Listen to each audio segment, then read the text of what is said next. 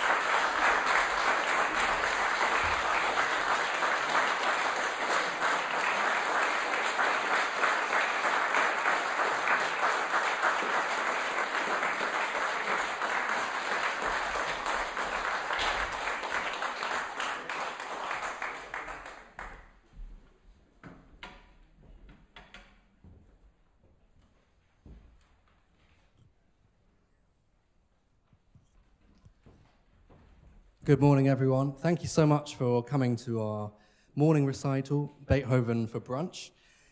And we're just so glad to see an audience after, after so long. Um, you may have noticed this as a flute recital, but there aren't many solo pieces by Beethoven for flute. So what you've just heard is a violin sonata, number eight in G major, arranged for the flute. And before that, you heard a wonderful rondo, um, by, also by Beethoven. And first of all was Debussy's Syrinx for solo flute, originally conceived for a play by his friend, which was never completed. And originally it would have been performed off stage. Next, you're going to hear Claude Debussy's wonderful Prelude à l'après-midi d'un faune. It's not quite noon, but we thought this would be a wonderful piece to program in the morning because it's so dreamy and it's so full of color and very evocative.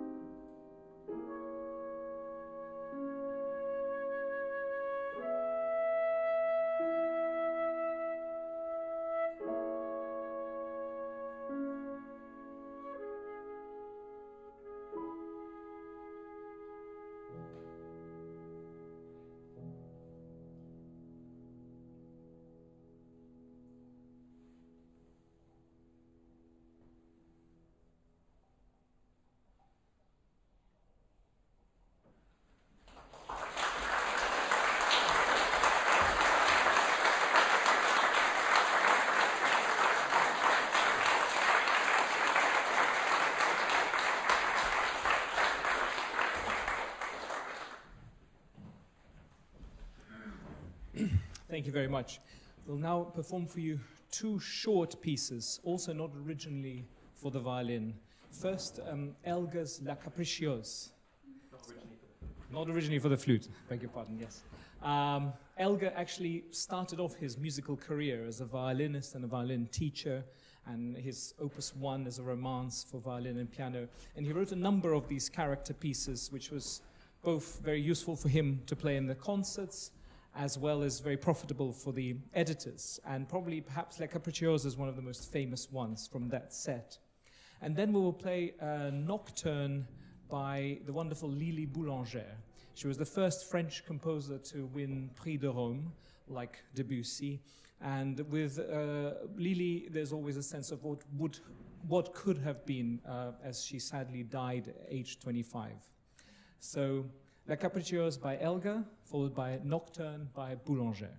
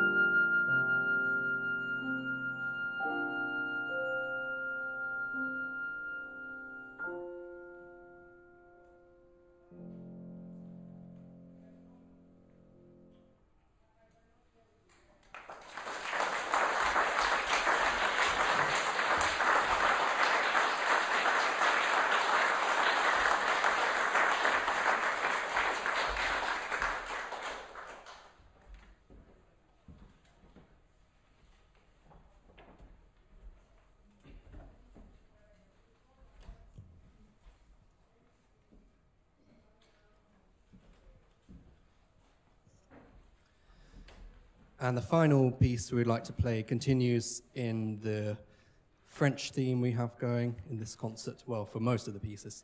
And it is the Fantaisie by Philippe Gaubert, who was a French flute player and composer, a professor at Paris Conservatoire. And this piece is a wonderful rhapsodic work, which Pavel remarked is much reminiscent of composers such as Fauré or Debussy.